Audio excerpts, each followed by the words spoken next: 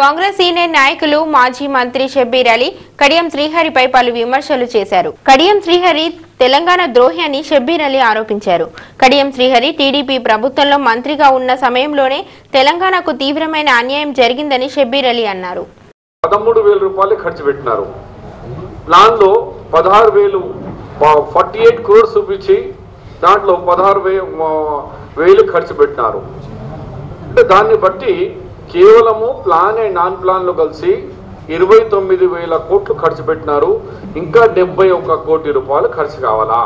ఈ డెబ్బై ఒక కోటి రూపాయలు ఎలా ఖర్చు పెడతారు? కేవలం ఇరవై దినాలు మిగిలింది.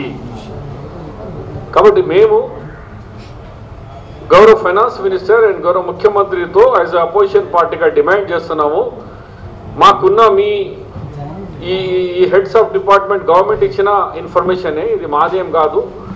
ఇది source of Telangana finance department website నుంచి తీసుకున్నది ఉంది.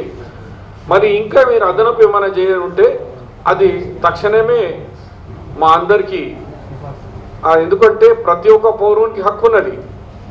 మా బడ్జెట్ ఏమైంది? మా బడ్జెట్ ఎవరెవరు ఖర్చు పెట్టింది?